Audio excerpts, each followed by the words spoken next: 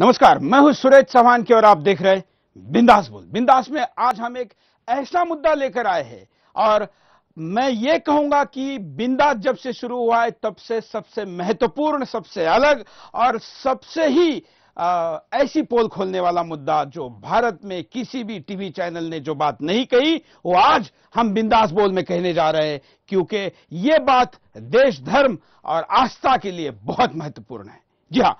आप जानते हैं कि पिछले कुछ दिनों से भारत में बहुत बड़ी बहस छिड़ी है और साई बाबा के खिलाफ तमाम हिंदुवादी संगठन उतरे हुए हैं।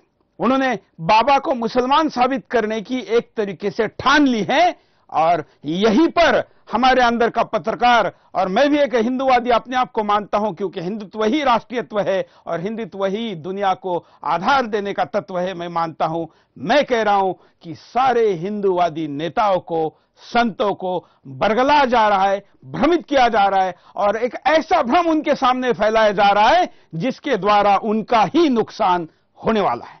जी हाँ, मैं बड़े जिम्मेवारी के साथ कहता हूँ कि साईं बाबा के शिरडी में जो भी संपत्ति है, इस संपत्ति के ऊपर भारत के कुछ मुस्लिम नेताओं की नज़र है, जो ये चाहते हैं कि वो संपत्ति वक्फ बोर्ड में आए। और वक्फ बोर्ड जो मुस्लिमों की संपत्तियों का मालिकाना हक अपने पास रखता है, उस बोर्ड में वो संपत्ति आने के लिए साईं बाबा को सूफी साबित करना ज़रूरी है। मुस्लिम तो साबित नहीं कर सकते, क्योंकि बाबा के ऊपर जितने भी रिसर्च हुए, कोई भी उनको मुस्लिम साबित नहीं कर पाया। यह पहल कभी किसी हिंदू ने नहीं की। हमेशा मुसलमानों ने कहा कि बाबा पर हमारा अधिकार है, लेकिन वो कभी भी साबित नहीं कर पाए। इसलिए इस बार ये मांग मुस्लिमों की तरफ़ से नहीं उठी, बल्कि एक ऐसे शंकराचार्य की तरफ़ से उठी, जिनके मुँह से किसी बयान को निकलवाना आसान है। ऐसा माना जाता है, ऐसा आरोप उनके ऊपर लगता है।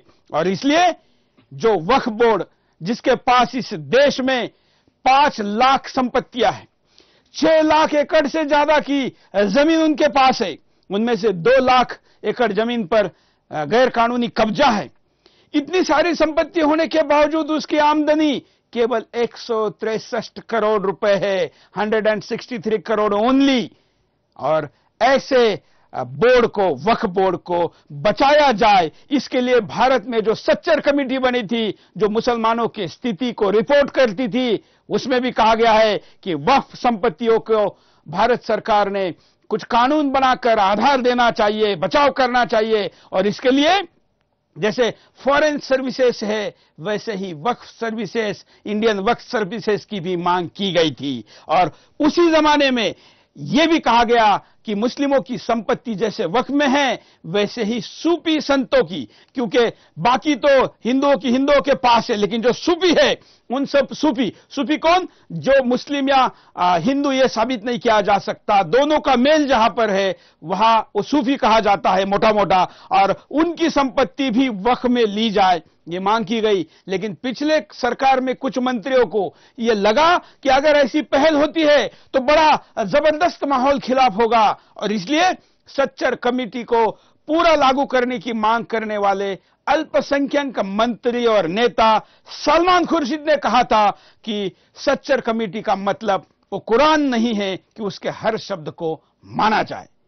देश में साई बाबा की संपत्ति को, मुस्लिमों की संपत्ति की मांग अगर इस युग में और मोदी के सरकार में हो तो कभी वो सही, कभी वो मांग पूरी हो ही नहीं सकती। इसलिए कि उल्टा गेम करा गया और वो गेम ये था कि हिंदुओं के शंकराचार्य कहे जाने वाले, जिनके नाम के साथ शंकराचार्य लगा है, ऐसे व्यक्ति के द्वारा ही अगर इस मांग को रखा जाए तो ये मांग साई बाबा को मुसलमान साबित करने के लिए या कम से कम सूफी साबित करने के लिए पर्याप्त होगी। और यह षड्यंत्र खेला गया।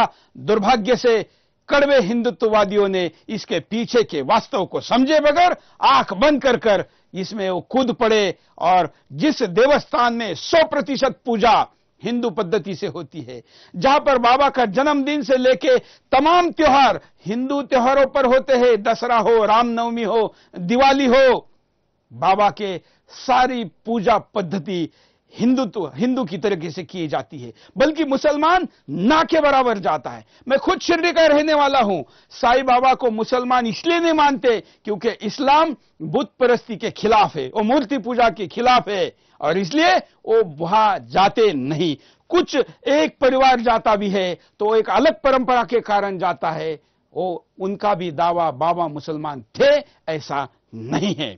मैं बड़े गंभीरता के साथ आपके सामने ये विषय रख रहा हूँ और आशा करता हूँ कि हिंदू संगठनों को, हिंदू साधु संतों को भ्रमित करने का जो षड्यंत्र किया जा रहा है, उससे बाज आए वो समझ जाए और इसलिए इस पूरे घंटे के कार्यक्रम में हम आपके सामने बात करेंगे। स्क्रीन पर वो डिटेल चलाएँगे जो शायद ही आप लोगों ने देखी हो।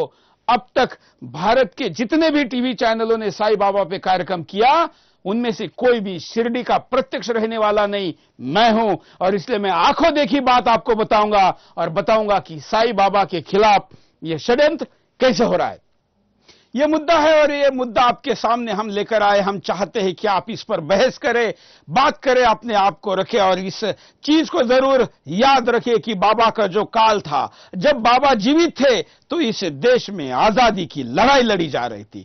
तब उस लड़ाई में हिंदू मुसलमानों को साथ लेकर चलने की ज़रूरत थी और बाबा को मिलने लोकमान्य तिलक से लेके पंजाब से लेके बंगाल से लेके तमाम क्रांतिकारी मिलने आते थे और तब दोनों समुदाय को एक रखने का संदेश देना ज़रूरी था। तब के सारे ही साधु संतों ने यह प्रयास किया है, समाज व्यवस्था ने प्रयास किया है और इसलिए तब कुछ मात्रा में मुसलमान बाबा के पास आते थे।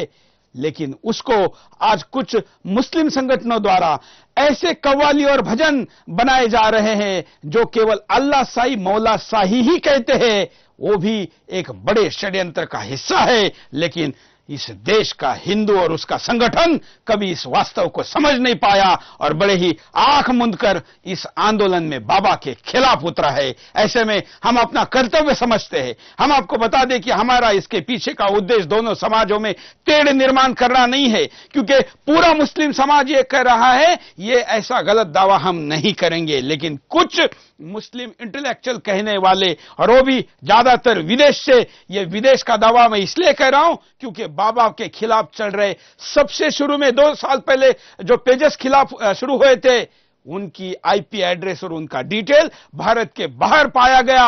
उसके बाद कुछ यहाँ के लोगों ने उसका अंधा अनुकरण किया, और अब तो खुलेआम तमाम हिंदुवादी संगठन बाबा के खिलाफ लिख रहे हैं। मेरा उनको आह्वान है, हमने हर बार इस देश और धर्म के लिए लड़ाई लड़ते हुए, अपना सब कुछ नौछार करते हुए पूरी ताकत सुदर्शन ने लगाई है। यहाँ पर भी हम सच को साबित करना चाहते हैं और इसलिए अपनी पूरी ताकत लगा रहे हैं। यहाँ पर भ्रम में आकर अपनी बात को न कहे, वास्तव को सोच समझ कर कहे आप भी कॉल कर सकते हैं अपनी बात को रख सकते हैं। हमारे यहाँ स्काइप पर आप घर बैठे वीडियो कॉल कर सकते हैं।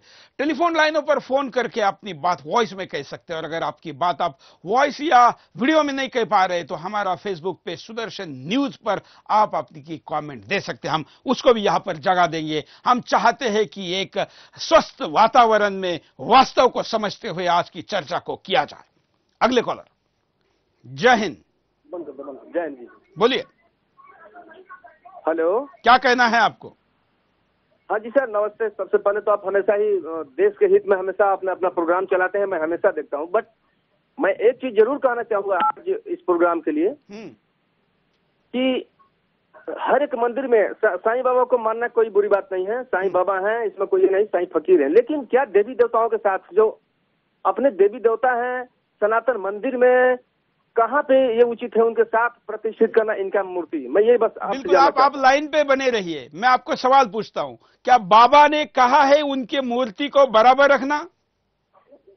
बिल्कुल नहीं मैं यही जानना चाहता हूँ बिल्कुल धन्यवाद। यही आखिर भक्त कह रहे हैं। और भगवान जो दीवाने होते हैं जो जिसके दीवाने हैं उसको भगवान मानते हैं। सचिन को भगवान मानने वालों के खिलाफ यहाँ पर बात क्यों नहीं हुई? सोनिया गांधी को देवी दिखाने वालों के खिलाफ बात क्यों नहीं? जिस धोनी को विष्णु दिखाया गया उसके खिलाफ बात क्यों नहीं हुई? हमारा भक्ति भाव हमारा भक्ति का पागलपन या फ़ैन का पागलपन व्यक्ति को भगवान कहता है उस व्यक्ति ने कभी नहीं कहा। साईं बाबा ने अपने आप को भगवान कहने की कहीं पर भी कोई प्रूफ नहीं है, बल्कि साईं बाबा के मंदिर में जो घोषणा दी जाती है वो दी जाती है, सदगुरु साईनाथ महाराज की जय। वहाँ सदगुरु कहा गया है, जो संत को कहा जाता है। लेकिन हम एक तरफ़ अच्छा केवल साईं बाबा के मंदिर है क्या? देश में कितने ऐसे संत हैं जिनके संतों के मंदिर बने हुए हैं? लोग उनको पूछते हैं, हम क्या सबके खिलाफ यह आंदोलन चला रहे हैं?